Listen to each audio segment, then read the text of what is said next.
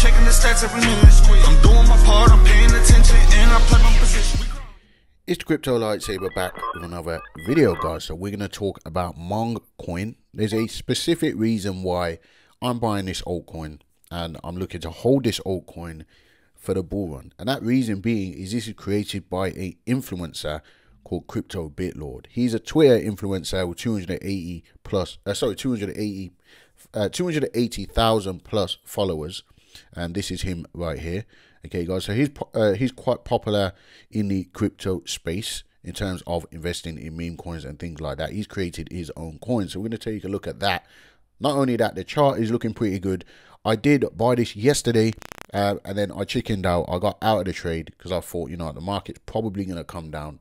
And then I managed to pick up this dip right here. So I got a much better price, a much better entry. And I got, uh, you know, twice the amount of tokens that I would have got buying over here. Okay guys so bought this dip perfectly and i'm sitting in a profit right now. The strategy on this is to basically pull out my initial investment and leave the rest to ride throughout the bull run. Okay um and and of course this is a meme coin so things can change. If this just pumps a thousand uh, uh, you know a thousand percent in a couple of days of course probably going to take some profits as well on that even. Okay guys but right now i'm still holding. The only reason i haven't taken out my initial investment already because i actually am up quite a little bit on this trade. Maybe i didn't catch the exact bottom but let's go from here to there. About 44% up since I bought it okay guys? In fact it has pulled back a little bit so it's a little bit less right now.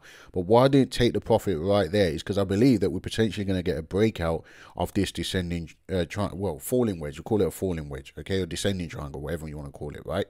The target how I came with this target is normally out of a falling wedge the target will be the top of the wedge okay? Um, you can basically draw a line from the top of the wedge to the bottom of the wedge and your target should be depending on where it breaks out okay guys? So um it looks like that could uh, uh, match up okay guys? But in this sort of strategy i normally like to take profit about halfway okay? Because normally it could come up and then it could just roll back over. So I do expect for it to break out of this level and potentially come up to this level over here around the 0 0.000 uh, zero, however many zeros there is, uh, two seven price. Okay, six zeros and a two seven. Okay, so once I get to there, that will bring me up to approximately. Uh, let's do, do a measured move. That will be approximately 100% profit. So I could take out 50%, which is my initial investment, and then leave the rest to ride. Okay, guys. So that is my thought process behind that and obviously you can see that before this did have a huge run up and this is me zoomed out okay but it did have a huge run up because people are hyped about the fact that crypto bitlord is the creator of this token i'm not sure what the percentages are but it is hot number one trending number one on dex tools at the moment okay um, the website um, pretty attractive. It's on LBank, BKEX, MEXC Global, and BitGet. If we go on Coin Market Cap, uh, Coin Market Cap is literally just changed before my eyes. The whole setup of Coin Market Cap. If we, in fact, if should be able to get straight to the market. If I type in Mark Mong Coin Market Cap, um, Coin Market Cap has changed its setup. Okay, as you can see, this is not the way it usually looks. Okay, but um, the market cap, where do I find market cap? Market cap is 103 million. Now, yesterday this was at 200 plus million, I believe. Um, um, yeah, yeah, it was a, it was about 200. In fact, let's just let's just do a. Let's see if we can okay i can't get it. It was about 200 million or close to 200 million okay? Um so you know pretty decent size market cap. Um and looking at things like pepe with pepe going to 1.6 billion at his peak maybe a little bit more um you know what is the potential that this could do something similar? It doesn't have as much hype as pepe but it does have a fully doxed founder and he's got a reputation in the space. You know I don't know if he knows CZ or whether this is just a photo opportunity, but he does know people in the crypto space and people do hold him in high, reg uh, high regard. I actually saw them talk about this token on Crypto Banter the other day, and they were saying, you know, bet on Crypto Bitlord, basically. So that's one of the main reasons that I've invested in this token, alongside the fact that the chart is looking bullish. Okay, guys. So um, on his Twitter is where you want to find the alpha on this.